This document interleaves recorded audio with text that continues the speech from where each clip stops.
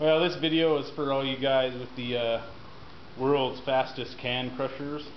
Um, I'm going to show you my version of the fastest can crusher, and here it is.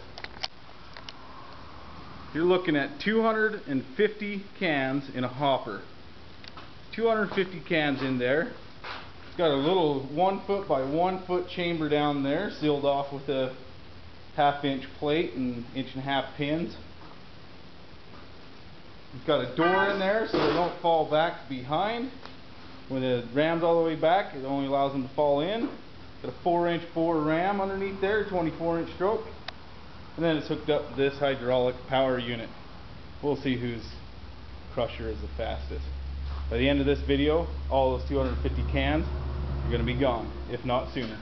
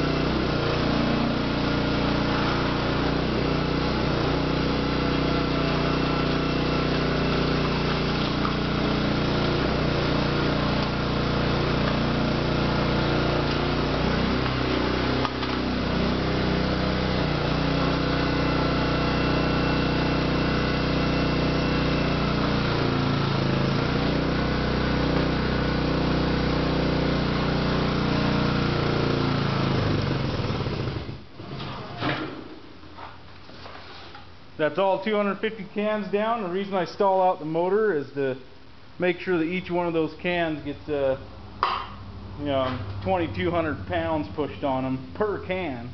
Because uh, this is a this uh, ram here does produce 17 tons.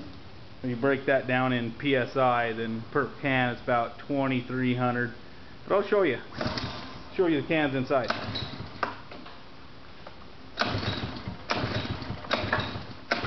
Maybe.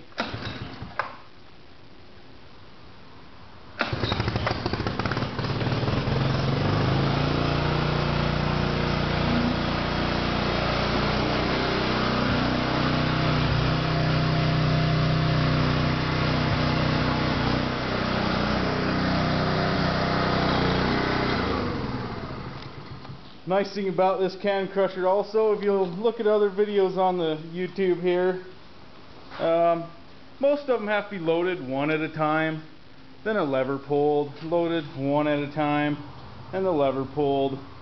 Um, I just crushed 250 cans in about four minutes.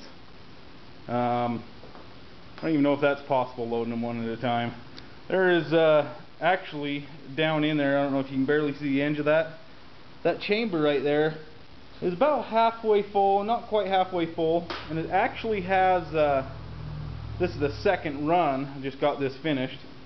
So that actually has about 500 cans in there.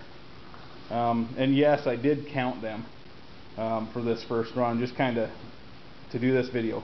Thanks for watching.